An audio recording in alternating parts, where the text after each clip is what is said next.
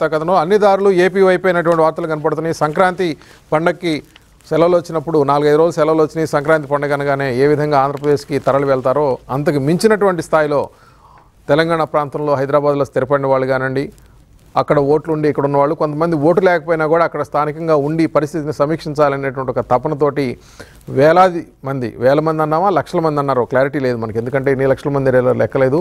కొంతమంది అయితే బస్సులు పెట్టి మరీ తీసుకువెళ్తా ఉన్నారు తరలి వెళ్తా ఉన్నారు. ఒక రకమైన వాతావరణం కనపడుతుంది. ఆంధ్రప్రదేశ్లో ఈ ఎన్నికల్లో ఒక సరైన నిర్ణయం తీసుకోవాలనేటువంటి ఒక అంశం కనపడతా ఉంది ప్రజలందరిలో కూడా. ఎందుకంటే ఇవాళ ఎన్నికల ప్రచారం ముగిసింది కాబట్టి ఎటువంటి పొలిటికల్ కామెంట్స్ చేసే అవకాశం లేదు. మనతోటి విశ్లేషకులు ఉన్నారు. అడిసిమల్ శ్రీనివాసరావు గారు బీసెట్టి బాబ్జీ గారు ఉన్నారు లోక్సత్తా నాయకులు.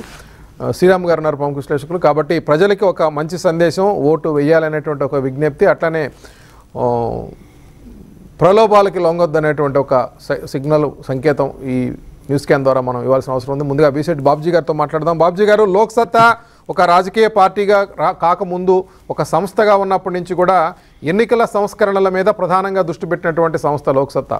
ఎన్నికల్లో సంస్కరణలు రావాలి ఇటువంటి మద్యము లేకుండా ఉండాలి ఎన్నికల్లో. అట్లనే ఓటు వేసుకునేటువంటి క్రమంలో రాజకీయ పార్టీలకు ఉండేటువంటి ఒక వెసులుబాట్లలో కూడా కొన్ని మార్పులు జరగాల్సిన అవసరం ఉందని చాలా కాలంగా పోరాడుతూ వచ్చారు. కొన్ని కొన్ని చేంజెస్ జరిగినాయి. బట్ ఆ స్థాయిలో ఆశించిన స్థాయిలో చేంజ్ జరిగినాయి అనేది ఒక చర్చ అయితే ఎన్నికల దగ్గరకు వచ్చేసరికి అప్పటిదాకా ఉన్నటువంటి పరిస్థితి అంతా జారిపోయి యథేచ్ఛగా డబ్బు పంపిణీ చేసుకోవడానికి మద్యం పంపిణీ చేసుకోవడానికి వదిలేసినటువంటి ఒక వాతావరణం కూడా కనపడతా ఉంది. ఎందుకంటే ఇది ప్రజల్లో కూడా ఒక చేంజ్ ఏంటంటే మా డబ్బులు అడ్డుకుంటారా మీరు అని ఎవరన్నా అడ్డుకోబోతే ఫిర్యాదు చేస్తే వాళ్ళ మీద తిరగబడే స్థితికి వచ్చింది వాళ్ళ వాస్తవం ఒప్పుకోవాల్సిందే మనం. ప్రజల గురించి మనం ఏమి ప్రజలు అట్లా లేరు అని చెప్పి అనుకోవడానికి లేదు. డెఫినెట్గా ఆ పరిస్థితి ఉంది. బట్ అయినా సరే ప్రజలు ఒకవేళ అటువంటి ప్రలోభాలకు గురైనా నిర్ణయం తీసుకునే విషయంకి వచ్చేసరికి మాత్రం స్వేచ్ఛగా ఒక నిర్ణయం తీసుకుంటారనేది మాత్రం మనం అనుకుంటున్నాం. డెఫినెట్గా అది కూడా జరుగుతుంది. బాబుజీ గారు. గుడ్ మార్నింగ్ విజయ్ గారు. మీకు ప్యానల్లో ఉన్నటువంటి పెద్దలందరికీ కూడా ఈ ప్రేక్షకులకు ముందుగా శుభోదయం. తప్పనిసరిగా మొట్టమొదటి ఈ రాష్ట్రంలో ఎన్నికల విధానంలో మార్పుల కోసం పెద్దలు గౌరవనీయులు జయప్రకాష్ నారాయణ గారు లోక్సత్తా ఉద్యమ సంస్థగా ఉన్నప్పుడే మేము మొట్టమొదటి చైతన్య కార్యక్రమాలు ప్రారంభించాం. అంటే శత శాతం ఓటు వేసుకోవాలన్నది ఒకటి.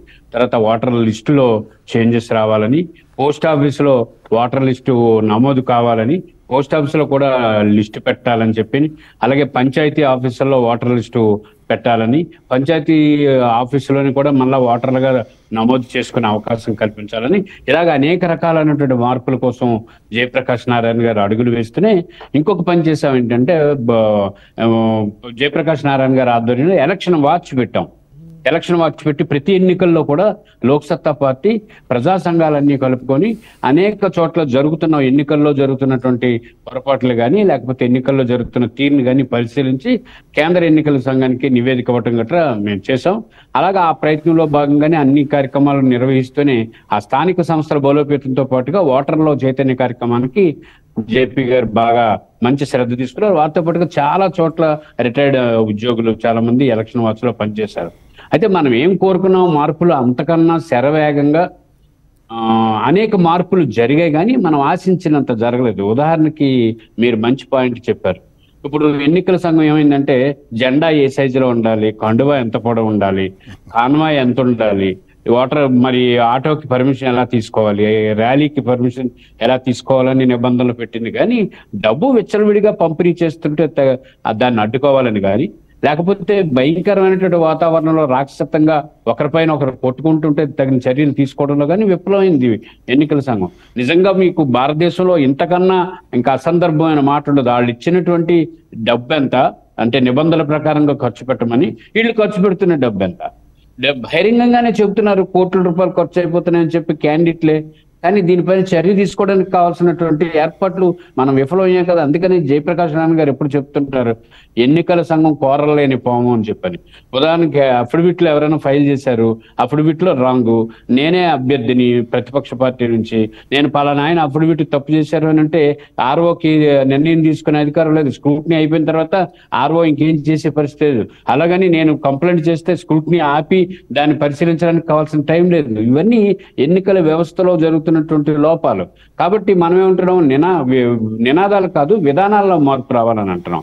పుస్తకం ఇచ్చి మీరు ఓటర్ ఐడి ఇలా ఉండాలి తర్వాత పోలింగ్ ఏజెంట్ ఎలా ఉండాలి ఒక క్యాండిడేట్కి కాన్వాయ్ ఎలా ఉండాలి లేకపోతే క్యాండిడేట్ ఎంతే ఖర్చు పెట్టాలి. కరెక్టే మీరు ఏం చేస్తున్నారు?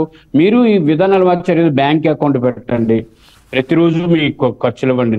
కళ్ళ ముందే రాష్ట్ర వ్యాప్తంగా సిద్ధం అనే చెప్పి హోర్డింగ్లు రాష్ట్ర వ్యాప్తంగా విపరీతంగా వస్తా ఉంటే ఎవరికి ఫిర్యాదు చేయాలో తెలియని పరిస్థితి? అది రాష్ట్ర స్థాయి ఎలక్షన్లో క్యాండిడేట్దా ఎంపీదా ఎమ్మెల్యేదా ముఖ్యమంత్రి గారు ప్రచారం చేస్తుంటే విచ్చలవిడిగా హోర్డింగ్లు వచ్చినాయి సిద్ధం హోర్డింగ్లు దీన్ని ఎవరు బాధ్యత చేయాలి? ఎవరిని అడగాలి?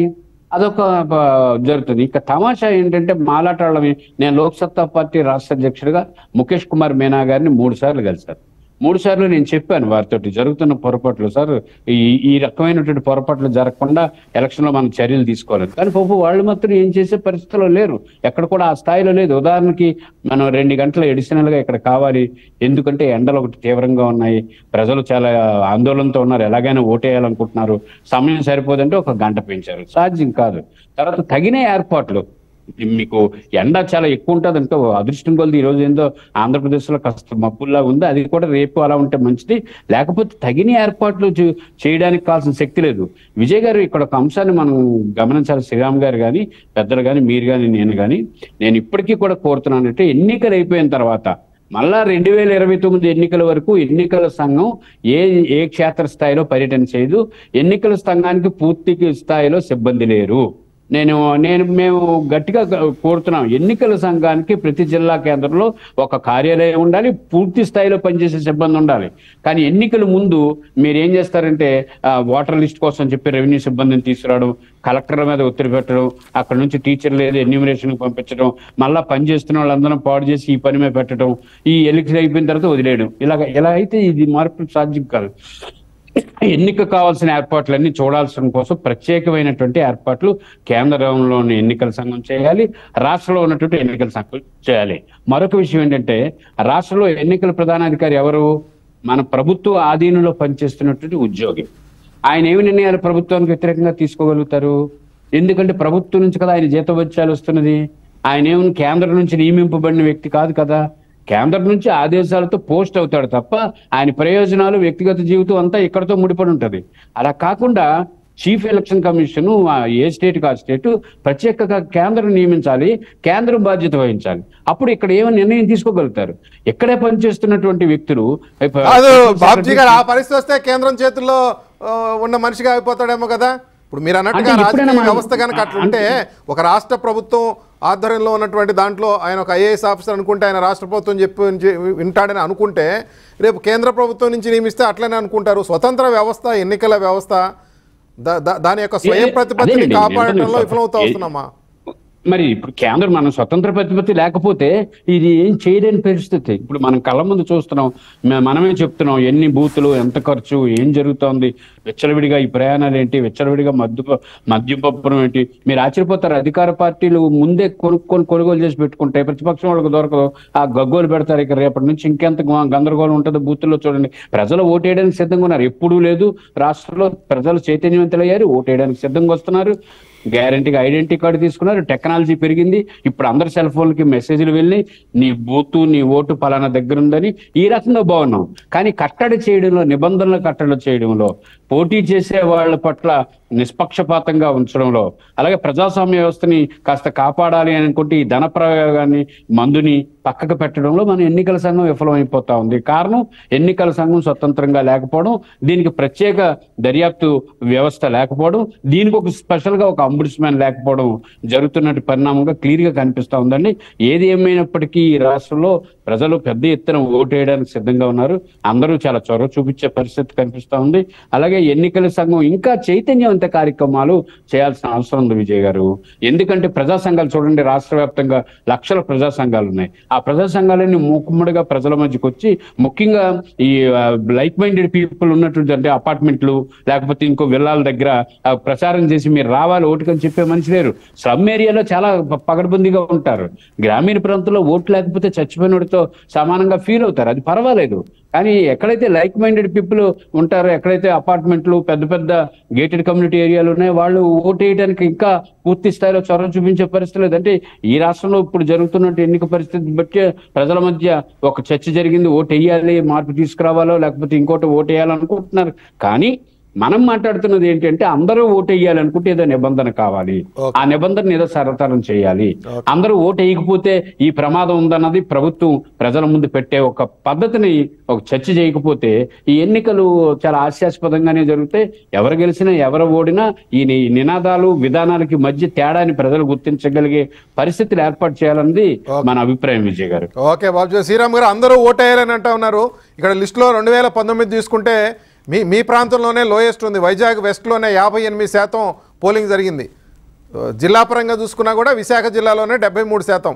హయ్యెస్ట్ ప్రకాశం జిల్లాలో జరిగింది ఉమ్మడి ప్రకాశం జిల్లా. అంటే ఇప్పుడు తర్వాత జిల్లాలు మారి అనుకోండి. ఉమ్మడి ప్రకాశం జిల్లాలో ఎనభై ఆరు శాతం ఓటింగ్ జరిగితే విశాఖ జిల్లాలో డెబ్బై మూడు. హయ్యెస్ట్ అద్దంకిలో దాదాపుగా తొంభై శాతం పోలింగ్ అయింది. వైజాగ్ వెస్ట్ నియోజకవర్గంలో యాభై ఎనిమిది శాతం జరిగింది. సహజంగానే అర్బన్ హైదరాబాద్లో తక్కువైంది అనుకుంటాం తెలంగాణకు వచ్చేసరికి. సో దాని పరిణామం బట్టే అక్కడ కూడా వైజాగ్లో తక్కువైంది అనేది రెండు మూడు కారణాలు ఉండొచ్చు. కొంత వాస్తవమైన లెక్కలు కాకపోవచ్చు. చాలామంది నగరంలో లేకపోవటము బయటకు వెళ్ళిపోయిన పర్సంటేజ్ కొంత ఉండొచ్చు. అయినా కూడా డెఫినెట్గా అర్బన్ పీపుల్ కొద్దిగా ఓటేయడానికి దూరంగా ఉంటున్నారనేది లాస్ట్ రెండు వేల పంతొమ్మిది ఫిగర్ కనపడుతుంది. బట్ ఈసారి అట్లా కాకుండా ఉంటుందా? రామ్ గారు శ్రీరామ్ గారు. అందరం ఎక్స్పెక్ట్ చేస్తున్నాం. ప్రతిసారి ఎక్స్పెక్ట్ చేస్తున్నాం కానీ అలా జరగట్లేదు. ఉదాహరణకి మీరు చెప్పిన విశాఖపట్నం వెస్ట్ నియోజకవర్గాన్ని తీసుకుంటే ఇక్కడ బాగా తగ్గడానికి కారణం ఏంటంటే నార్త్ ఇండియన్ ఓట్స్ చాలా ఉన్నాయి. దాదాపు ముప్పై వేల ఓట్లు నార్త్ ఇండియన్ ఓట్స్ రెండు వేల పంతొమ్మిది ఎలక్షన్కే ఉన్నాయి. ఇప్పుడు అవి ఇంకా పెరిగి ఉంటాయి ఓ ముప్పై ఐదు నలభై వేల దాకా ఉండి ఉంటాయి. వీళ్ళు అసలు ఎక్కడ కూడా బయటకు వచ్చి ఓట్లు వేసిన దాఖలాలు లేవు. సో అందువల్ల ఏంటంటే వీళ్ళు ఏదో ఇదేదో మంది కాదు ఈ ఏరియా అన్నట్లాగా ఉండటం ఉండడం వల్ల లేదంటే ఎవరన్నా వెళ్ళి వాళ్ళని కొంచెం మోటివేట్ చేయడంలో సరిగా మోటివేట్ చేయకపోవడం కారణం వల్ల అక్కడ వెస్ట్ నియోజకవర్గంలో చాలా తక్కువ ఓటింగ్ రావడం అనేది కారణం. సో అందువల్ల ఏంటంటే నార్త్ ఇండియన్స్ వాళ్ళ ఊళ్ళు వెళ్ళి అక్కడ వేసుకుంటారా అంటే అక్కడ ఉంటాయి ఓట్లు ఇక్కడ ఉంటాయి. మరి అక్కడ వేసారా లేదో తెలియదు ఇక్కడ వేసి ఇక్కడ మాత్రం వేయాల. ఎందుకంటే అక్కడ కూడా ఓట్లు ఉన్నాయి కాబట్టి కొంతమంది అక్కడికి వెళ్ళి ఓట్లు వేసి ఉండొచ్చు. నార్త్ ఇండియాలో వాళ్ళ వాళ్ళ ప్రదేశాలకు వెళ్ళి ఓట్లు వేసి ఉండొచ్చు. కానీ ఇక్కడ కూడా ఓట్లు ఉంటాయి కాబట్టి ఇక్కడ ఓట్లు వేయనట్లాగా మనకు కనిపిస్తుంది. సో వెస్ట్ నియోజకవర్గం పరిస్థితి అదైతే హైదరాబాద్ని మనం ఉదాహరణగా తీసుకుంటే హైదరాబాద్లో మనకి జూబ్లీ హిల్స్ బంజారా హిల్స్ ప్రాంతంలో ఉండే వాళ్ళలో అసలు దాదాపుగా అసలు ఎవరు సిక్స్టీ పర్సెంట్ ఓట్లు వేరు మీరు తీసుకుంటే ఫార్టీ పర్సెంట్ నుంచి ఫార్టీ ఎయిట్ పర్సెంట్ లోపు మధ్యలో మాత్రమే ఉంటుంది అక్కడ జూబ్లీ హిల్స్ ఏరియాలో ఓటింగ్. అంటే ఏంటి? బాగా చదువుకున్న వాళ్ళు బాగా డబ్బుండి సెటిల్ అయిపోయిన వాళ్ళు లేదంటే బాగా మేము మేధావులు అనుకుంటున్న వాళ్ళు ఇట్లాంటి వాళ్ళందరూ కూడా ఓటింగ్ కోసం లైన్లో వచ్చి నిలబడడం అనేది ప్రెస్టేజ్గా ఫీల్ అవుతున్నారు. అది ఫాల్స్ ప్రెస్టేజ్. ప్రజాస్వామ్యంలో లైన్లో నుంచోవడం లైన్లో నుంచుని క్రమశిక్షణతో ఓటు వేయడం అనేది బాధ్యత. ఆ బాధ్యతని మర్చిపోయి చాలా మంది ఏదో ఫాల్స్ ప్రిస్టేజ్గా ఫీల్ అవుతున్నారు. రెండోది ఏంటంటే ఇప్పుడు మరి ఈ ఎండలు బాగా ఉన్నాయి. ఈ ఎండలో అసలు మామూలుగానే ఓటింగ్ రాని వాళ్ళు ఎండల్లో ఎంత మటుకు ఓటింగ్ వస్తారు అనేది ఇంకొక ఆలోచించాల్సిన అంశం. ఓ, ఈ ఓవరాల్గా ఏంటంటే ఓటు వేయడం అనేది మన బాధ్యత అనేది మనం గుర్తుపెట్టుకోవాలి. లాస్ట్ టైం మీకు చాలాసార్లు చెప్పాను నేను నా ఓటే లేకుండా చేశారు నేను చాలా బాధపడ్డానయ్యా మీరందరూ ఈసారి జాగ్రత్త పడండి అలాంటి పరిస్థితులు రాకుండా చూసుకోండి. ఎప్పటికప్పుడు మీ ఓటు ఉండేలాగా చూసుకోండి అని నేను మన ఛానల్లోనే అనేక సార్లు చెప్పాను అంటే ఆ బాధ్యతని తీసుకోవాలి. అంటే ఇందాక మన మిత్రుడు చెప్పాడు మామూలు పల్లెటూళ్ళల్లో అయితే ఓటు లేకపోతే అసలు చచ్చిపోయిన వాళ్ళతో సమానంలాగా ఫీల్ అయిపోతారని. అంత మరీ ఫీల్ అయిపోయినా కానీ నా ఓటు లేకపోతే నేను ఈ దేశంలో నాకున్న ప్రాథమిక హక్కు ఏదైతే ఉందో దాన్ని ఉపయోగించుకోలేకపోయాను. ఈ దేశ పౌరుడిగా ఉండి నేను నా కర్తవ్యాన్ని నిర్వర్తించలేకపోయానన్న బాధ ఖచ్చితంగా ఉండాలి. అది లేకపోతే తర్వాత మనం ఎన్ని మాట్లాడినా ప్రయోజనం లేదు. ఇప్పుడు ఓటు వేయకుండా ఇంట్లో కూర్చుని లేదంటే ఓటు ఉందా లేదా పట్టించుకోకుండా ఇంట్లో కూర్చుని ఆ తర్వాత ఆ నాయకుడు అట్లా ఈ నాయకుడు ఇట్లా ఆ నాయకుడు అట్లా చేశాడు పరిపాలన సరిగా చేయలేదు ఈ నాయకుడు ఇట్లా చేశాడు పరిపాలన సరిగా చేయలేదని ఎన్ని మాట్లాడినా కూడా ఇదంతా వృధా ప్రయాసం. ప్రజాస్వామ్యంలో అందుకే ఐదు సంవత్సరాలకు ఒకసారి హక్కు ఇచ్చింది. ఆ హక్కుని ఉపయోగించుకుని నీకు కావాల్సిన ప్రభుత్వాన్ని నీకు కావాల్సిన ప్రతినిధిని నువ్వు తీసుకొచ్చే నీకు ప్రజాస్వామ్యం ఇచ్చింది. ప్రజాస్వామ్యం ఇచ్చిన ఆ హక్కుని ఉపయోగించుకోకుండా ఊరికే మాట్లాడితే ప్రయోజనం లేదు. అందువల్ల నాలాంటి వాళ్ళే కాదు ఎవరైనా సరే ఓటు హక్కును కోల్పోకుండా ఉండాలి ఉన్న ఓటుని సద్వినియోగం చేసుకోవాలి. ఈ సద్వినియోగం చేసుకోవడం కూడా చాలా ఇంపార్టెంట్. సద్వినియోగం అంటే విచక్షణ జ్ఞానంతో ఉపయోగించుకోవాలి. విచక్షణ జ్ఞానంతో ఎవరు నీకు పని చేస్తారు? ఎవరు లేదా ఎవరు నీకు పని చేయలేదు? పని చెయ్యని వాళ్ళని పక్కన పెట్టడం పని చేసే వాళ్ళని మళ్ళీ అధికారంలోకి తీసుకురావడం. ఈ రెండు పనులు చేయడం కోసమనే మీకు ఆ అధికారాన్ని ఇచ్చారు. ఆ అధికారాన్ని విచక్షణతో వాడుకోవాలి. ఈ మధ్యలో మీ విచక్షణతో వాడుకోవడానికి మధ్యలో అనేకమైన ప్రలోభాలు వస్తాయి అనేకమైన అడ్డంకులు వస్తాయి. ఉదాహరణకి నన్నే తీసుకోండి. ఒక రాజకీయ పార్టీలో నేను ఈ ప్రభుత్వానికి వ్యతిరేకంగా మాట్లాడుతున్నందుకు నా నోరు మోయించడానికి ప్రయత్నం చేశారు. అప్పుడు నేను అనుకున్నా ఈ ఇప్పుడు నోరు మూసుకుని వాళ్ళు చెప్పినట్టు వింటమా? లేదా ఈ రాష్ట్రం కోసం ఈ రాష్ట్రం యొక్క అభివృద్ధి కోసం ఈ రాష్ట్రంలో ప్రజలను చైతన్యం చేయడం కోసం నా గొంతును వినిపించడమా? ఈ రెండిట్లో నాకు ఏది ఆప్షన్? ఒక ఫస్ట్ ఆప్షన్ తీసుకుంటే వాళ్ళు చెప్పినట్టు నోరు మూసుకుని ఉంటే ఏ ఎమ్మెల్యే టికెట్ ఎంపీ టికెట్ ఏదో ఇస్తారు ఓకే అదేదో అవుతుంది. నా రాజకీయంగా కొంత అభివృద్ధి ఉంటుంది.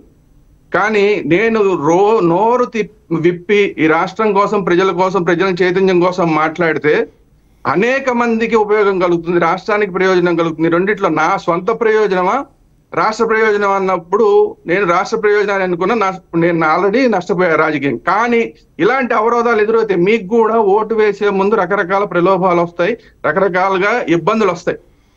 వాటన్నిటిని తట్టుకుని మీరు సరైన నిర్ణయం తీసుకుంటే సరైన ప్రభుత్వం వస్తుంది. నాకు ఇంకొక ఉదాహరణ కూడా చెప్తా. మీరు పలానా పార్టీ తరఫున మీరు గనక మాట్లాడితే మీకు నెలకి ఓ లక్షన్నర రూపాయలు ఇస్తాం. హైదరాబాద్లో మీకు ఒక కార్ ఇస్తాం మీకు ఒక ఇల్లు ఇస్తాం. మీరు చేయవలసిందల్లా వా- మా వాళ్ళే చెప్పేస్తారు మీరు ఏ ఏ ఛానల్కి వెళ్ళాలో మా వాళ్ళే చెప్పేస్తారు. అక్కడికి వెళ్ళి కూర్చొని ఆ పార్టీ తరఫున మాట్లాడడం అనుకూలంగా మాట్లాడడం. ఇదండి ఆఫర్ ఇస్తే ఎవరితో మాట్లాడుతున్నారో తెలుసా? నేను అలాంటి వాటి జోలికి వెళ్ళను అని మాట అని ఈ రోజు దాకా ఇలా ఉన్నా. అంటే నెలకి లక్షన్నర అంటే ఇన్ని సంవత్సరాల్లో ఎంత అవుతుంది కానీ ఇప్పుడు మనం ఓటు కోసం ఎంత ప్రలోభానికి మనం తలగ్గేస్తున్నాం? ఒక ఐదు వందలు ఇచ్చారనుకోండి ఓటుకి ఐదు సంవత్సరాలకి మీకు ఐదు వందలు ఇస్తే పావలా కూడా రాదు రోజు. పావలా కూడా రాదు. పావలాకి మన జీవితాన్ని అమ్మేసుకుందామా? మన పిల్లల జీవితాన్ని తాకట్టు పెట్టేద్దామా? పోనీ ఒక పదిహేను వందలు ఇచ్చారు ముప్పావల.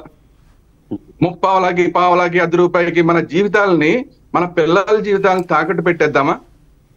ఇప్పుడు మీరు మీరు కనుక ఇప్పుడు అలా చేస్తే ఒకవేళ మాలాంటి వాళ్ళందరం కూడా ఎంత కష్టపడి రాజకీయంగా వచ్చే ఒత్తిళ్ళను ఎదుర్కొని అనేక ఇబ్బందులను ఎదుర్కొని ప్రభుత్వాలు చేస్తున్న తప్పుల్ని ఎత్తి చూపిస్తూ ఉన్నందువల్ల ఎన్ని ఇబ్బందులు పడతామో అందరికీ తెలుసు. ఇంతమంది చేసిన దానికి వృధా ప్రయాసం అవుతుంది. మీరొక్క పావలాకో మీరొక్క అర్ధ రూపాయకో మీరొక్క ముప్పావలాకో ఈ రోజు మీ ఓటుని అమ్మేసుకుంటేనో లేకపోతే కొన్ని తెలంగాణలో మనం చూసే రోడ్ల మీదకి వచ్చి మాకు ఎందుకు ఇవ్వరు అని చెప్పి ధర్నాలు చేయడం చూసాం. ఆ స్థాయికి గనక ఓటర్ దిగజారిపోతే ఇంతమంది పడుతున్న శ్రమ అంతా వృధా అవుతుంది. అందువల్ల విచక్షణ ఉండాలి నీకు. నీ ఓటుని ఉపయోగించుకోవడం. నువ్వేం పోరాటాలు చేయగల ఇంట్లో ఉన్నావు హాయిగా ఐదేళ్ళు ఉన్నావు ఇంట్లో. అనేక మంది బయట పోరాటాలు చేశారు నానా ఇబ్బందులు పడ్డారు అనేక కేసులు పెట్టించుకున్నారు. నువ్వు అవేం చేయక్కలేదు కదా.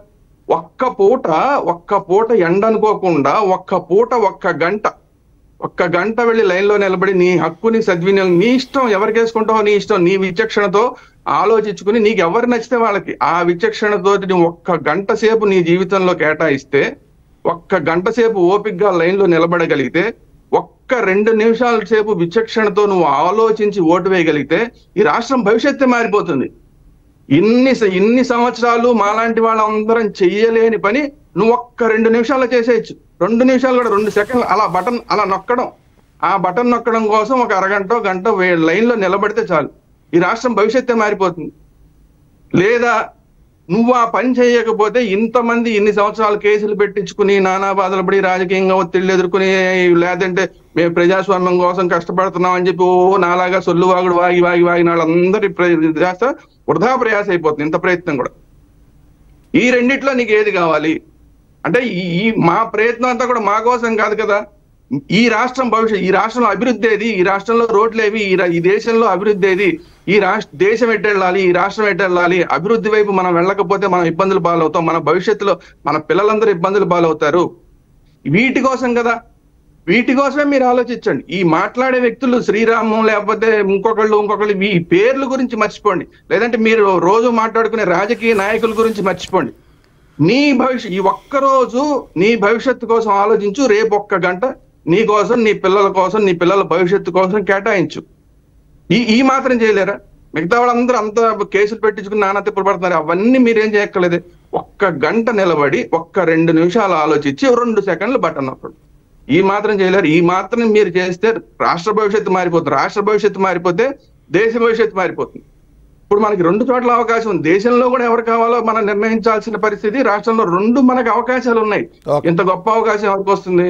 కాబట్టి నువ్వు చేసే రెండు నిమిషాల నువ్వు నీ విచక్షణ అనేది ఈ దేశ భవిష్యత్తుని రాష్ట్ర భవిష్యత్తు నిర్ణయిస్తుంది. ఈ దేశ భవిష్యత్తు రాష్ట్ర భవిష్యత్తు మాత్రమే కాదు నీ కుటుంబ భవిష్యత్తు నిర్ణయిస్తుంది. దేశం గురించి వదిలే రాష్ట్రం గురించి వదిలే. నీ కుటుంబ భవిష్యత్తుని నిర్ణయిస్తుంది నీ పిల్లల భవిష్యత్తు నిర్ణయిస్తుంది. నీకు ఒక మంచి మార్గాన్ని చూపిస్తుంది. దీనికోసం ఒక్క గంట సేపు లైన్లో నిలబడండి ఎండ అనుకోబాకండి రెండు నిమిషాలు ఆలోచించండి రెండు సెకండ్లు సరిగ్గా నిర్ణయించుకుని ఒక ఓటు వేయండి. ఓకే శ్రీరామ్ గారు శ్రీనివాసరావు గారు పావలా ముప్పావలా కాన్సెప్ట్ చెప్తా ఉన్నారు శ్రీరామ్ గారు. దానికి ఇది కాకుండా ఉండమని అట్లనే మీ భవిష్యత్తు మీ చేతుల్లోనే. ఇంకా అది ఇక చెప్పేది ఏముంది దాంట్లో? మీరు అన్నట్టుగా శ్రీనివాసరావు గారు బాబ్జీ గారు గారు శ్రీరామ్ గారు ఈ ఐదేళ్ళుగా ఎన్ని అంశాలు ఏం చెప్పినా కూడా ప్రజలకు నిర్ణయం తీసుకోవాల్సింది వాళ్ళే. ఎందుకంటే పెయిన్ అనేది డెఫినెట్గా వాళ్ళకే ఉంటుంది కదా.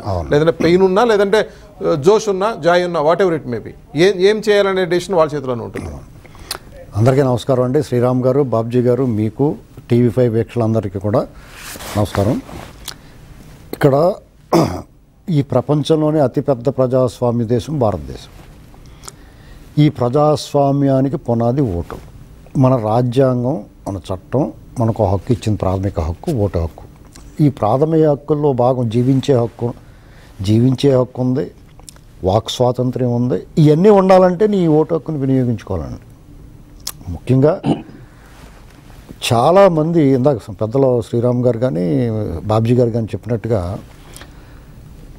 ఇది నాది కాదు నా పని కాదు ఎవరో వేరే వాళ్ళు చేసుకుంటున్నారు మనం చంద్రమండలం నుంచి వచ్చామనుకుంటున్నారు చాలామంది. అది ఈ ఎలక్షన్కి మాత్రం కొంచెం మార్పు వచ్చిందండి. ఈ ఎన్నిక పర్టికులర్గా ఆంధ్రప్రదేశ్ విషయంలో చాలా మార్పు కనిపిస్తూ ఉంది. ఎందుకంటే జనాల ఆలోచన విధానంలో ఓటు వేయాలన్న తపన స్పష్టంగా తెలుస్తూ ఉంది. అంటే ఎంతో కొంత మార్పు. అంటే ఏదో ఒక విధ్వంసము ఏదో ఒక అరాచకం ఏదో ఒక దుర్మార్గం జరిగితే తప్ప స్పందించమా మనం? మనకి బాధ్యత లేదా? ఈ దేశంలో రాజ్యాంగం కల్పించిన ఈ ఎన్నికల కమిషను అటానమస్ బాడీ స్వయం ప్రతిపత్తి అనేటువంటి ఈ చట్టాలు రాజ్యాంగం చాలా పటిష్టంగా ఉన్నాయండి మనకి. దాన్ని అమలు చేసే వాళ్ళతో వచ్చింది ప్రాబ్లం ఏం టీఎన్ శేషన్ గారు గజగజ వణికించలేదండి? ఎంత లైన్లో పెట్టాడు ఆయన? ఇవాళ ఎందుకు చేయలేకపోతున్నారు అనేటువంటిది ఆలోచించాలి. ఇందాక బాబ్జీ గారు చెప్పినట్టుగా కొన్ని సౌకర్యాలు సదుపాయాలు అక్కడ ఓటు వేయడానికి వచ్చిన వాళ్ళకి గాలికి వదిలేస్తారు ఒక్కొక్కసారి. అంటే మీరు మీరెవర్రా వచ్చారా చేశారా పోయారా అక్కడ ఉన్న రాజకీయ నాయకులు పలుకుబట్టి ప్రభో ప్రలోభాలు ప్రభావంతో వాళ్ళు ఏకపక్షంగా ఓట్లు వేసుకోవడం కోసం అన్నట్టుగా కూడా ప్రజలను పట్టించుకునే పరిస్థితులు ఉన్నాయి. వాళ్ళకి ఎంత ప్రచార చేస్తున్నారు మీరు రండి ఓటేయండి అని చెప్తా ఉన్నారు ఎలక్షన్ కమిషన్. దానికి ప్రచారం కూడా చేస్తారు. సెలబ్రిటీల చేత కూడా చెప్పిస్తూ ఉంటారు. మాలాటోళ్ళు ఇలాగే చెప్తూ ఉంటాం ఓటేయండి రా బాబు అని. కానీ అక్కడ అవకాశాలు ఎలా ఉన్నాయండి? నిన్న మొన్నటి దాకా గత ఎన్నికల్లో చూడండి ఒక్కొక్కళ్ళ ఓటు గత ఎన్నికల్లో ఒక చోట ఉంటే ఒక బూత్లో ఉంటే మళ్ళీ నెక్స్ట్ ఎన్నికలు వచ్చాడు ఇంకో చోట. అంటే దానికి దీనికి రెండు మూడు గంటల ప్రయాణం ఉండేలాగా. ఈ ఈ స్లిప్ పట్టుకుని అక్కడికి వెళ్ళిన తర్వాత ఇక్కడ కాదు నీది ఓటు ఇంకోటి అంటే అలాంటి చాలా ఇబ్బంది పెట్టారు. ఇది ఎందుకు చేయలేరు అలా? ఐదు సంవత్సరాల గ్యాప్ ఉంటుంది. ఆ ఎలక్షన్ కమిషన్ కొంత ఇందాక బాబ్జీ గారు చెప్పినట్టుగా వాళ్ళకి ఒక యంత్రాంగం ఉండాలి. ఈ రాష్ట్ర యంత్రాంగం మీరు చెప్పేది అర్బన్లో ఎక్కువ ఉంది శ్రీనివాసరావు పెద్ద ప్రాబ్లం లేదు కానీ అర్బన్లో భార్యాభర్తల ఓట్లో భార్యదేమో ఒక పోలింగ్ బూత్లో భర్తదేమో ఇంకో చోట. అసలు నేనే- ఎగ్జాంపుల్ ప్లేస్ కూడా వేరే ఇప్పుడు ప్రజెంట్ నేను ఎగ్జాంపుల్ అండి. మా మా ఫ్యామిలీ మా అబ్బాయికి మా అమ్మాయికి మా మా మిస్సెస్కి ఒక చోట అది ఇంకో చోట ఉంది. అంటే కొంచెం దగ్గరే కాబట్టి పర్లేదు. లేదంటే ఎవడొకడు బతికిస్తాడు. ఇలాగా ఇది ఒక ప్రహసనం కింద మారిపోయింది. ఊరికే చెప్పడానికి చేయటానికి బాగానే ఉంటుంది ఇదంతా. ఏవైనా మార్పు వాళ్ళు మన రాజ్యాంగం చట్టం చేసినప్పుడు ఏ చట్టంలో అయినా మెరిట్స్ డిమెరిట్స్ ఉంటాయి లొసుగులు ఉంటాయి ఆ కన్నాలు ఉంటాయి అందులోంచి పొరపాట్లు చేయడానికి చాలా మంచి వాళ్ళు వస్తారో చాలా పూర్వం ఒక అరవై డెబ్బై ఏళ్ళ క్రితం కొంత ఎంతో కొంత మంచితనం మనుషులు నిజాయితీ నిబద్ధత ప్రజల పట్ల బాధ్యత ఉన్నవాళ్ళు అధికారంలో ఉండేవారు బాధ్యతలు నిర్వర్తించేవారు అలాంటి వాళ్ళే ఉంటారని అప్పుడు రూపొందించింది. ఇప్పుడు కులము మతము ప్రాంతము లేదంటే ప్రలోభాలకి సూట్ కేసులకి అయితే కేసు లేకపోతే సూట్ కేసు ఇలాంటి వాటికి లొంగిపోయి బెదిరించి భయపడి ఇలాంటి వాళ్ళు వస్తున్నారు రాజ్యాంగ పద్ధ పదవుల్లోకి. ఇది ఒకవేళ వాళ్ళు బాధపడినా ఇది కఠోర నిష్ఠూర సత్యం అండి ఇది. దీనివల్ల ఏమవుతుందంటే సహజంగానే కొంతమంది నిరాశ వస్తుంది. ఏహ ఏం చేసినా ఎవడొచ్చినా ఇంతే కదా. ఎవడొస్తే ఏంటి అనేటువంటి భావన కలిగించేలాగా ఈ వాతావరణం కనిపిస్తూ ఉంటుంది దీన్ని అర్జెంటుగా చాలా పెద్ద సంస్కరణ కావాలి. దీని రాజకీయ పార్టీలు అందరూ కూర్చోవాలి. మేధావు వర్గాలు విశ్రాంతి అధికారులు మాజీ జడ్జీలు ఆడుకోటేయండి ఈడుకోటేయండి చెప్పడం కాదు. ఇలాంటి సంస్కరణలు తీసుకురావడం కావాలి దొంగోళ్ళకి సపోర్ట్ చేయడం కాదు. అరాచకవాదులకు మద్దతుగా మాజీ అధికారులు జడ్జీలు దిగడం కాదండి. ఇలాంటి వాటి మీద వాళ్ళు పెట్టాలి. బాధ్యత ఎందుకంటే ఈ దేశంలో అత్యున్నత పదవులు అనుభవించి ఈ దేశం అంతా వాళ్ళని గౌరవించినప్పుడు ఈ దేశానికి ఎంతో కొంత ఇవ్వాలి కదా. ఈ దేశం మాకేమొచ్చిందని ప్రశ్నిస్తున్నారు కదా. నువ్వేమి ఇచ్చావు దేశానికి? ఇలాంటి బాధ్యత లేకుండా నేను చాలా అనేక ఎన్నికల నుంచి చూస్తూ వచ్చానండి. చాలామంది పచ్చి స్వార్థంతో అత్యున్నతమైన పదవులు పొంది వాళ్ళు కేవలం డబ్బుకో ప్రలోభాలకో పదవులకో దేనికో దానికి లొంగిపోయి ఈ దేశానికి ద్రోహం చేస్తున్నారు వాళ్ళు. మనం ఏమో భావిస్తాం వాళ్ళు ఈ దేశంలో అత్యున్నత పదవి పొందారు చాలా గొప్పవాళ్ళు. అని ఎవరికాళ్ళు ఓన్ చేసుకుంటారు తెలుగువాడైతే తెలుగువాడు కులం మతం పరంగా కూడా ఓన్ చేసుకుంటారు. కానీ వాళ్ళు తిరిగి ఏమిస్తున్నారండి ఇది ఈ విషయంలో మాత్రం ఖచ్చితంగా రాజకీయ పక్షాలు మేధావ వర్గాలు విశ్లేషకులతో సహా అందరూ కూడా దీని మీద దృష్టి పెట్టాల్సిందే ఇక నుంచి రేపు నుంచి. ఇక ఆంధ్రప్రదేశ్కి తరలి వెళ్తున్న జనం గురించి చూస్తుంటే పన్నెండేళ్ళకి ఒకసారి పుష్కరాలు వస్తూ ఉంటాయి నదులకి. దాన్ని మించిన విధంగా ఉందండి అక్కడ. ఎందుకంటే ఇలాంటిది ఎప్పుడు జరుగుద్ది అంటే అండి మీకు విపరీతమైన వడగళ్ళ వాన కురిసిన కాండవ దహనంలాగా అడవిలు తగలబడిపోతున్నా లేదంటే భూకంపం వస్తున్నా ఒక సునామీ వస్తున్నా జనాలు ప్రాణాలు అరచేతుల్లో పెట్టుకుని పరుగు పెడతా ఉంటారు. అంటే ఒక సురక్షితమైన స్థలం కోసం ప్రశాంతత కోసం భయం లేని చోటు కోసం పరిగెడుతూ ఉంటారు. ఆ వాతావరణం కనిపిస్తుందండి. అంటే ఇది ఎందుకు వచ్చేసిందో తెలియదు కానీ ఇన్నాళ్ళు ఐదు సంవత్సరాల పాటు ఎవడం మాట్లాడతలేదు రా బాబుని. నోరు బద్దలు కొట్టుకుని మాట్లాడుతాను ఎవడ కథలు రేట్రా మీ సేమ కుట్టినట్లేదు మీకు. మీకు సొరక తాగట్లేదని ఎన్నోసార్లు నేనే అన్నాను. అలాంటిది అసలు ఈ జనాలను చూస్తుంటే నాకు సిగ్గేస్తుంది. ఏంట్రా ఇంత చైతన్యం వచ్చింది? ఎవరిని కదిపినా అసలు వాళ్ళ ముఖాల్లో ఏదో సాధించబోతున్నాము ఏదో చేయబోతున్నాము అనేటువంటి వాతావరణం కనిపిస్తుంటే నిజంగానే ప్రజల్లో మార్పు ఒక స్వచ్ఛ ఇది మంచికి మంచి పరిణామం అండి. రాబోయే రోజుల్లో వీళ్ళు ఇదే రకంగా ఎవరినైనా సరే అరాచకానికి దుర్మార్గానికి కూల్చివేతలకి విధ్వంసానికి ప్రజల భవిష్యత్తుతో ఆడుకునే వాళ్ళకి బాధ్యత లేని వాళ్ళకి గుణపాఠంగా ఉండాల్సిన ఎన్నిక ఇది దీనికోసం ప్రజల స్పందన కూడా అలా కనిపిస్తుంది కాబట్టి దేశానికి మంచి రోజులు వస్తాయేమో అని ఆశ కలుగుతూ ఉంది. నిన్న మొన్నటి దాకా నాకు ఏమనిపించింది ఏంట్రా ఎవరిలో ఏంటిది? ఎవరికాడ స్వార్థం కోలం చూసుకుని మతం చూసుకుని ప్రాంతం చూసుకుని ఏమైపోతుందిరా ఇది దేశం అంతా మళ్ళీ ఈస్ట్ ఇండియా కంపెనీ నాటికి తీసుకుపోతున్నారా? మళ్ళీ సంస్థానాలు సంస్థానాల కింద ఎడగొట్టేసి ఎవరికాడ డబ్బు ఉన్నవాడు ఈ హైదరాబాద్ నాకు ఇచ్చేయండి అని కొనుక్కుంటారేమో? ఎలాంటి పరిస్థితి కనిపించింది అప్పుడు అలాగే కదా కలకత్తా వాళ్ళు కొనుక్కున్నారు తర్వాత గుజరాత్ సంస్థానం తీసుకున్నారు వాళ్ళు వాళ్ళు కొన్ని ఉల్లాల సంస్థానం కర్ణాటకలోని దక్షిణ కర్ణాటకలోని మంగళూరు దగ్గర ఉల్లాల సంస్థానం కావాలనుకున్నారు అక్కడ మళ్ళీ సొంత సైన్యాన్ని పెట్టుకుని రాణి అబ్బక్క కాపాడుకుంది. ఇలాంటి పరిస్థితి వచ్చేద్దేమో అనుకున్నాను నేను. ఈస్ట్ ఇండియా కంపెనీ వచ్చిన నాటి పరిస్థితికి వచ్చేద్దేమో కానీ. ఉంది కదా ప్రజాస్వామ్యంలో ఐదేళ్ళకు ఒకసారి వచ్చే ఇది ఉంది కదా? మరి ఐదేళ్ళకు ఒకసారి వచ్చినప్పుడు మన ఇంట్లో దుప్పడ దుప్పడ ముసుగుదాన్ని పడుకుని ఇంట్లో తొంగుంటే. ఈ మరి ఈస్ట్ ఇండియా కంపెనీ నాటికి వెళ్ళిపోతామా లేకపోతే మన ఆ పరిస్థితి లేదంటున్నారు కదా మీరే. మీరే అదేనండి. అన్ని దారులు ఏపీ వైపే వెళ్ళిపోతాం ఇప్పుడు మార్పు అలాంటి మార్పు వచ్చినప్పుడే మనకి మనం మాట్లాడే హక్కు ఇప్పుడు ఒకటేనండి. నీ బతుకు నువ్వు బతకాలన్నా నువ్వు స్వేచ్ఛగా మాట్లాడాలన్నా నీ కూడు నువ్వు తినాలన్నా నీ ఇంట్లో నువ్వు ఉండాలన్నా నీకున్న నీ చేతిలో ఉన్న ఆయుధం వజ్రాయుధం పాశుపతాస్త్రాన్ని మించిన వజ్రాయుధం ఉంది నీ చేతిలో.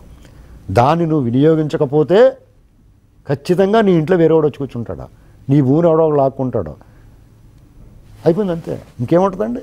నువ్వు మాట్లాడాలి కదా. నీకు సొరక తగిలినప్పుడు అమ్మ అని అంటాం కదా మనకి అగ్గి అగ్గి తగిలితే. నువ్వు ఇలా ఎందుకు స్పందించవు?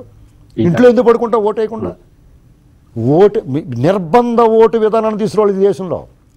ఎవడైతే ఓటు వేయలేదో వాడికి ఈ ప్రభుత్వం నుంచి వచ్చే సౌకర్యాలు అన్నింటినీ పొందేయాలి పెట్రోల్ నాకు వంద రూపాయలు అయితే ఓటు వేసినోడికి ఓటు వేయనోడికి రెండు వందలు పెట్టాలి. ఖచ్చితంగా చేస్తారండి అప్పుడు వందకి నూట పది ఓట్లు పడతాయండి. ఇది ఎందుకు చేయరు? ఇది చేసి తీరాల. ఓటేయండి మీరు రండి. ఈ బతిమాలక్కర్లేదు. అప్పుడు ఈ డబ్బులు ఖర్చు కూడా ఉండదండి. నిర్బంధ ఓటు విధానం వచ్చినప్పుడు ఈ ప్రలోభాలు కూడా ఉండి ఆడ కోసం ఎత్తాళ్ళైనా ఇంట్లో పడుకుంటారు రాజకీయ నాయకులు కూడా అర్థమైందా? విధానాల ప్రాతిపదికన జరగవచ్చు అవకాశం ఉంది. ఖచ్చితంగానండి. ఇప్పుడు నీకు ఒకటే మాట అండి ఓటు వేయనివాడు ఓటు వేసినవాడు ఇప్పుడున్న సాంకేతిక పరిజ్ఞానంతో ఖచ్చితంగా దాన్ని గుర్తించవచ్చు అప్పుడు ఓటు వేయని వాడికి ఓటు వేసిన వాడికి నూట పది రూపాయలు పెట్రోల్ అయితే ఓటు వేయని వాడికి రెండు వందల రూపాయలు. డ- నూనె డబ్బా కొన్ని ఏరియా కొన్ని కొన్ని కొన్ని దేశాల్లో ఉంది కదా నిర్బంధ ఓటింగ్ మరి ఎందుకు ఎందుకు పెట్టరండి వీళ్ళు?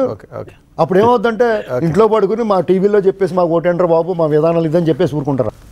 Welcome back. బాబ్జీ గారితో మాట్లాడదాం. బాబ్జీ గారు ఓటు వేయండి అనే పిలుపు ఇవ్వటం అనేది ఓకే. ఎందుకంటే నాలుగు కోట్ల పద్నాలుగు లక్షల మంది ఓటర్లు ఉన్నారు. లాస్ట్ టైం ఏమో మూడు కోట్ల తొంభై నాలుగు లక్షలు లాస్ట్ టైం ఎయిటీ పర్సెంట్ పైనే పోలైంది. లాస్ట్ టైం ఓటు వేయని వాళ్ళ సంఖ్య డెబ్బై ఏడు లక్షలు ఉంది. ఆ డెబ్బై ఏడులో నేను అనుకోవటం ఒక ఇరవై లక్షల దాకా రిపీట్ అక్కడ ఇక్కడ రెండు చోట్ల ఓట్లు ఉన్నవి. లేదంటే చనిపోయిన కొన్ని తీగిపోవటం లేదంటే విదేశాలకు వెళ్ళిపోయిన వాళ్ళు అట్లా లెక్కేసుకుంటే ఒక యాభై లక్షల మంది అయితే ఉన్నా కూడా ఓటు నియోజకవర్గం లిస్టులో ఉండుంటారు.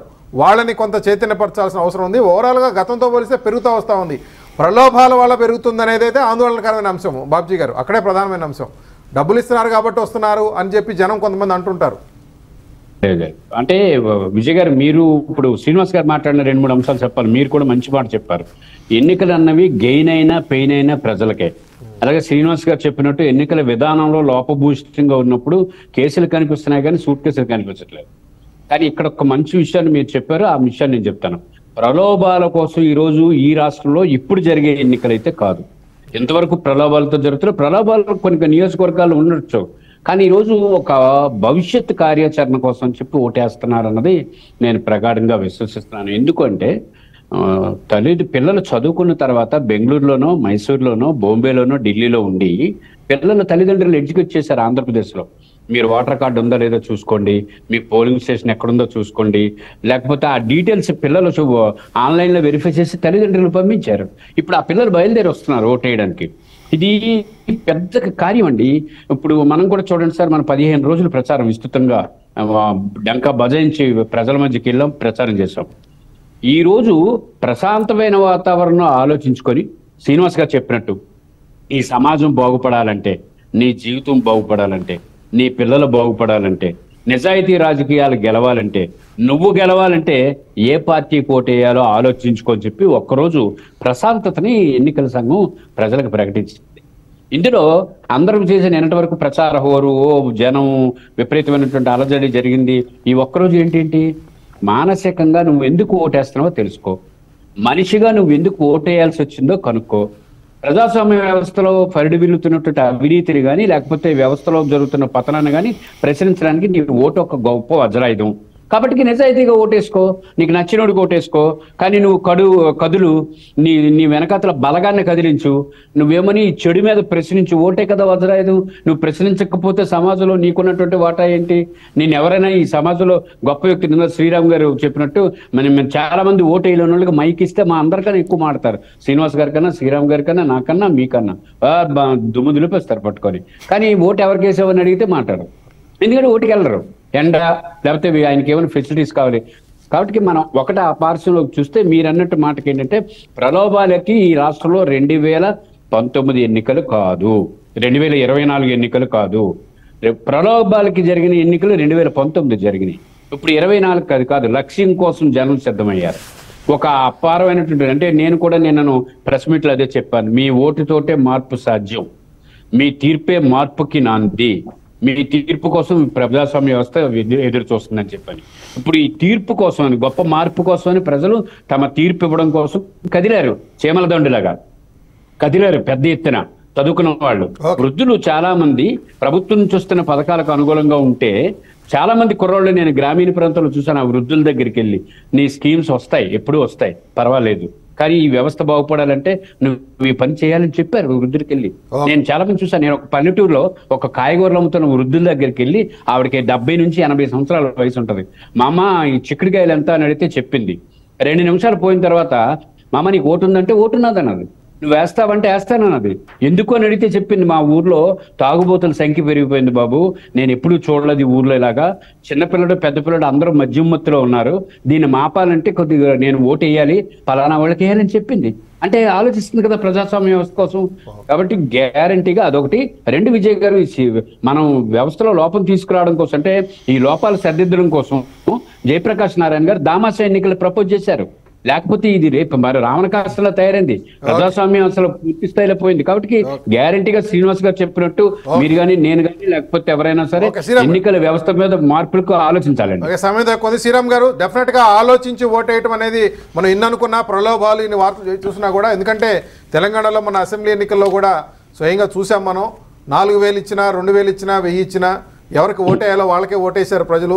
నాలుగు ఎక్కువ డబ్బులు ఇచ్చిన వాళ్ళు ఓడిపోయారు అనేది కళ్ళెదుగా కనపడిన సత్యం కూడా. కాబట్టి ప్రలోభాలు ఉన్నా కూడా విఘ్నత అనేది డెఫినెట్గా కనపడుతుంది. శ్రీరామ్ ఖచ్చితంగా ఇప్పుడు అయితే ఇప్పుడు ఏమవుతుందంటే అన్ని అందరి దగ్గర తీసుకుంటున్నారు. డబ్బులు తీసుకునే వాళ్ళు ఎవరో? ఒక రక ఒకే నీతికి నిజాయితీకి నిలబడి నేను పలానా పార్టీ వేద్దాం అనుకుంటున్నాను కాబట్టి ఆ పార్టీ ఇచ్చిన వాటి డబ్బులు మాత్రమే తీసుకోవాలను. అని రూల్ ఎవడో పెట్టుకోవాలా? చివరికి ఎలాగైపోయిందంటే డబ్బులు అన్ని మనమే కదా. ఆడేదో సంపాదించింది వాళ్ళు మనకి ఇస్తున్నాడు ఇవేవో మన డబ్బులు మన అధికారం అన్నట్లాగా తీసుకుంటున్నారు. సో దీనికి ఇప్పుడు అందుకని ఎన్నికల సంస్కరణలు అనేవి చాలా అవసరం అండి ఈ దేశంలో. ఎన్- ఊరికే మాట్లాడుకున్నా కూడా ఎన్నికల సంస్కరణలు ఖచ్చితంగా తీసుకురావాలి. శేషన్ గారు లాంటి వాళ్ళు ఇంకోళ్ళని తీసుకురావాలి. తీసుకొచ్చినప్పుడే జరుగుతుంది. ఖచ్చితంగా స్మార్ట్ ఓటర్ కార్డ్ అనేది పెట్టాలి.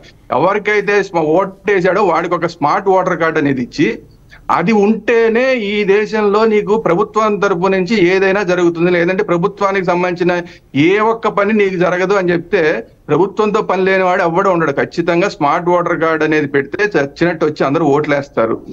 ఇంకోటి ఏంటంటే ఇందాక నేను ఎండు ఎండల్లో వచ్చి రెండే బాబు అని బతిమాలాను కానీ అసలు బతిమాలాల్సిన ఈ రోజుల్లో కూడా మనం ఇంకా బతిమాలాల్సిన పని ఏంటండి? ఆన్లైన్ ఓటింగ్ పెట్టేయాలి ఎలక్షన్ కమిషన్. ప్రతి వాడి దగ్గర ఇంట్లో స్మార్ట్ స్మార్ట్ ఫోన్ ఉంది కంప్యూటర్లు ఉన్నాయి. ఒక యాప్ తీసుకురా ఒక యాప్ తీసుకొచ్చి ఫోన్లో ఓటేసేలాగా పెట్టు. ఏ ఏం చేయలేదు ఆ మాత్రం చేయలేదా ఈ దేశం? ఈ ఎన్నో చేస్తున్నాం మనం బ్యాంకు పెద్ద పెద్ద పెద్ద కోట్ల కోట్ల ట్రాన్సాక్షన్లే ఫోన్ లోంచి అయిపోతున్నాయి. ఒక ఓటు వేసుకోవడానికి మనం చేసుకోలేమండి? అప్పుడు ఈ ఎండలో నుంచోవాలి అసలు నా ఓటు నేను హక్కు నేను నా ఉపయోగించుకోవడం నేను ఎండలో ఎందుకు నిలబడాలి? నాకేంటా పనిష్మెంట్ ఓకే. ఆ, నా- ఈ- ఒకప్పుడు అంటే ఓకే. ఈ రోజుల్లో కూడా ఎందుకు నేను ఆ పనిష్మెంట్ తీసుకోవాలి? నాకు స్మార్ట్ నాకు ఇవ్వు ఒక యాప్ ఇవ్వు నాకు నా ఓటు నేను నా ఫోన్లో వేస్తా అంటే ఈ రోజు ఎవరైతే ఇళ్ళలో కూర్చుని ఉన్నారో నేను మేధావులు అనుకున్నారో లేదా నేను అక్కడ ఇల్లు లైన్లో నుంచి అందరూ ఓట్లేస్తారండి. ఓట్లు వేయకపోవడం అనేది నేను ఓటు వేయకూడదు అని ఎవరు తీర్మానించుకోరు. ఓకే. కానీ పరిస్థితులను మనం సృష్టించాలి. అట్లాంటి పరిస్థితులు కనుక సృష్టిస్తే ఖచ్చితంగా ఓట్లేస్తారు ఖచ్చితంగా ఎలక్షన్ కమిషన్ దీని మీద ఆన్లైన్ ఓటింగ్ స్మార్ట్ ఓటింగ్. అనే దాని మీద ఖచ్చితంగా ఆలోచించాలి. ఓకే శ్రీరామ శ్రీనివాసరావు గారు మనం అనుకున్నాం కానీ ఎనభై శాతం అని నా దృష్టిలో అయితే దాదాపుగా అది బాగా అయినట్టే లెక్క లాస్ట్ టైం ఈసారి ఇంకా పెరుగుతుంది అనేటువంటి. నేనైతే. ఈసారి నేనైతే ఓటింగ్ శాతం బాగా పెరుగుద్దండి. ప్రజలు కూడా ఏం ఆలోచించాలంటే ఇప్పుడు రెండు రకాలు ఉంటాయండి. తాత్కాలిక లాభం దీర్ఘకాలిక నష్టం. అలాగే తాల్కా తాత్కాలికంగా ఉంచే ఇబ్బంది దీర్ఘకాలికంగా లాభం. అంటే భవిష్యత్తు పట్ల ఇది ఖచ్చితంగా ఆలోచించాలండి. ఇది ఆలోచించాల్సిన సమయం వచ్చేసింది. ఇది వరకంటే సర్లే వీళ్ళు కాకపోతే ఇంకొకడు ఈ ఐదేళ్ళు పొందిన తర్వాత ఏదో కానీ ఇది ఆఖరి పోరాటం. మీరు ఈ అంచుకు వచ్చేస్తున్నారు. ఈ అంచు నుంచి పొరపాటు చేస్తే ఎవడన్నా ఇంకా పాతాళానికి వెళ్ళిపోవడం మిమ్మల్ని ఎవడ భగవంతుడు కూడా తీసుకురాలేడు బయటికి. కాబట్టి ఇది ఒక వాళ్ళకి ఒక క్లిష్టమైన సమయం. ఆలోచించుకుని జాగ్రత్తగా వాళ్ళ భవిష్యత్తు పట్ల వాళ్ళ తరాల పట్ల వాళ్ళ పిల్లల పట్ల స్వార్థం లేకుండా కులము మతము ప్రాంతం ఈ మూడు విడిచిపెట్టాలి అర్జెంటుగా విడిచిపెట్టి నీ రాబోయే రోజుల్లో ఏ కులము ఎవడో మతం ఏమి ఉండదండి. అందరూ కూడా వ్యాపారాలు వ్యవహారాల్లో ఈ వాటిల్లో ఈ కులాలు ఏం చూడలేదు ఎవడ ఉన్నాయి. కాబట్టి ఎవడన్నా ఆ మధ్యతరగతి మనస్తత్వంతో ఉండి ఆ చట్టంలో కనుకుంటే ఖచ్చితంగా నష్టపోతారు. ఎవడో కూడా మన వెనకాల రాడు. మనం పడిపోతే లెగదీసి కూడా మన కొలపోడు వచ్చేదాకా ఆగడు. ఎవడో రోడ్డు మీద పోయినోడు ఎవడో ఒకడు వచ్చి లెగదీస్తాడు కాబట్టి ఇవాళ తాత్కాలిక లాభము లేదంటే తాత్కాలిక లాభం అంటే ఐ మీన్ ఈ పథకాలు గితకాలు ఉంటాయి అది అందరూ ఇస్తారు కదా. అది కాదు ఆలోచించాల్సిందే. వాళ్ళ మైండ్ సెట్ నీ పాలకుడుగా ఉండవలసిన వాడు అన్ని రకాలుగా స్టెబిలైజ్ అయి ఉండి స్థితి స్థితప్రజ్ఞుడై ఉండి ఆలోచన కలిగినాడు ఉండి మానవత్వం ఉండి రాగద్వేషాలకు అతీతంగా ఉన్నవాడు ఎంచుకోవాలి. ఓకే. అంతేగాని ప్రజలను పీడించుకు తిని అరాచకం చేసి కూల్చివేసి ఒకటే సింపుల్గానే కూల్చేవాడా నిర్మించేవాడా? పనివాడా పనికి మాలినవాడా? రెండే పాయింట్లే. ఓకే.